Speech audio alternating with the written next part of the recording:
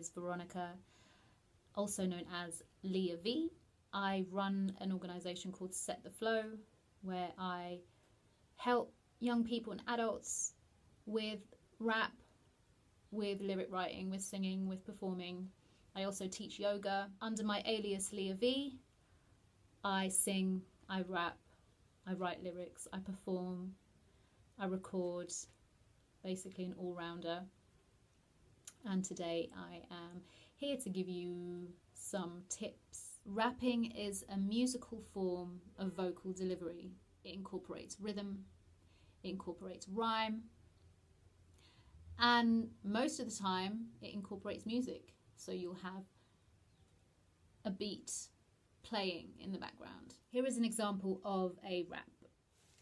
No stress, everything blessed. We only making progress, success in excess, accepting no less. Yo, yes, process, creating wholeness. Express, represent the lotus, connect, focus, reset, balance, switch the tempo, make it happen, build the strength up, break the pattern, engage the core, prepare for the challenge. Independent, bear potential, selfless actions become fundamental. Law of attractions, essential. Share the secret, become the vessel. Open up the right conversation. Every petal needs a strong foundation. New station gone transformation. Beat on repeat, a sweet combination. A great way to get familiar with the music is to listen to a lot of different artists. Do some research and see which rap artists you like to listen to and think about the artists that you like and decide why you like them. What is it about them that you enjoy? Find out about who influenced them. My biggest influence was Eminem.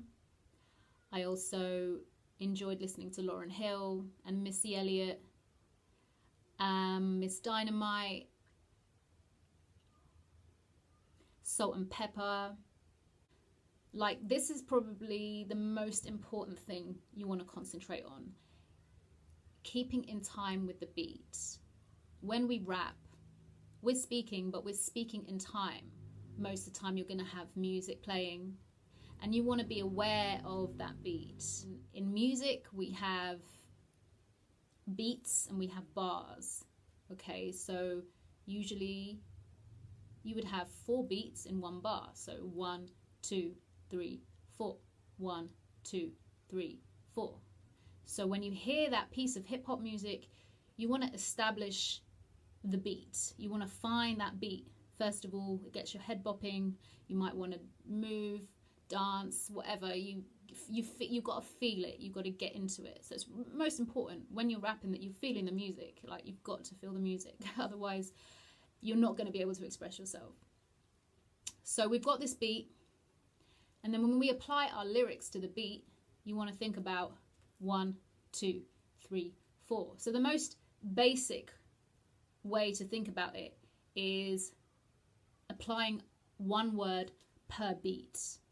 Okay, so if we've got one, two, three, four, we think about our name. So if I take my name, Veronica, I've got four syllables in my name. So, Veronica, Veronica, Veronica.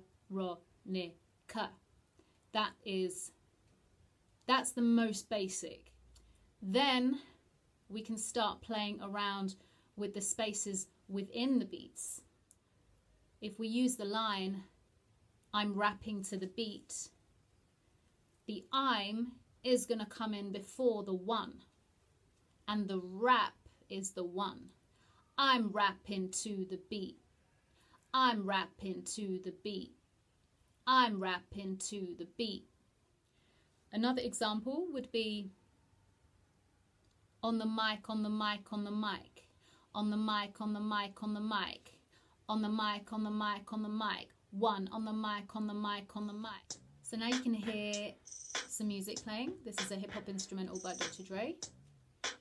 And just to give you an example, so you can hear one, two, three, four. You can bop your head, Tap your feet, clap your hands, click your fingers. One, two, three, four. So if we break it down to put my name in, you find those one, two, three, four. Veronica, Veronica, Veronica. So that's the really basic, basic, basic. Then if we want to switch it up and make it sound a bit more interesting, we bring in our next line. Um I'm rapping to the beat. Um I'm rapping to the beat. Um I'm rapping to the beat. I'm rapping to the beat. I'm rapping to the beat. And then finally, we take that next phrase, which is on the mic, on the mic, on the mic, on the mic, on the mic, on the mic, on the mic, on the mic, on the mic, on the mic, on the mic, on the mic, on the mic, on the mic, on the mic, on the mic, on the mic, on the mic. The next thing I would suggest is is to rap along to the rappers that you like. So pick a rap song and learn it. Listen to the song and learn it like you would with a song that you would sing. It's the same principle to learn the rap.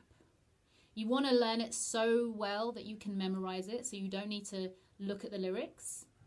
And you want to be able to deliver that track exactly the same way that the the original was delivered. So you need to be aware again of the beats coming in perfectly. So so no mistakes. If you were to go to a karaoke and, and, and rap it, like you got you got to you got to deliver it the way it's it's been written and the way it's been performed. Then you can actually find the instrumental of the beat. You'll find that on YouTube. You'll find that online. Type in any any any well-known rap song and you'll, you'll instrumental, and you'll be able to find that. And then when you get confident with rapping it to the original instrumental, then you can search for another hip hop instrumental and try rapping it over a different beat. That will challenge you and test you and start to help you to, to develop your versatility, which is really important as a rap artist. At the rappers, if you look at performers, people on stage in general, so much of it is about confidence, owning what they're doing, you know, really stepping up, um, not being shy. Like, this takes time if you're new to it and if you haven't had experience performing. It's a process and it, and, it, and it grows over time. We build up our confidence the more we do something. So, see how confident you can get with this rap. Like, practice it, practice it, and really start performing it like you're that artist on stage you want to start practicing it without the music, but still be able to deliver it with the same flow. So, like I did with my rap at the beginning, where you didn't hear me deliver it with any music, I'm still hitting the beats, I'm still keeping it in time, I'm still flowing as if the music was there. You'll start to develop your style, you'll start to understand about your flow. And I would say, really, you know, we are we are English, we are British, we have our accent. And a lot of the hip hop music that you you're going to be hearing is from the states. And sometimes and I think even me at the beginning I would rap with an American accent because it was easier to flow that way. It sounded better. When I tried to rap in my accent I was like no I don't really I don't really think it sounds good and I, I feel more more confident doing it in an American accent. But we've got to keep it real. We've got to keep it real with with who we are. I mean, honestly, to get respect, for you respecting yourself, respecting the music, keep keep it real. Um, and that comes with what you're rapping about, but also about what you're delivering. So if you're from from Birmingham or Manchester or anywhere in the UK and you're rapping with an American accent, it kind of defeats the purpose of keeping it real. Unless you're doing a parody, but I would say the more you get into it, you will find your sound, you will find your style, and you will get confident with rapping with your own voice. Just like when you learn anything, it just takes time and practice and determination.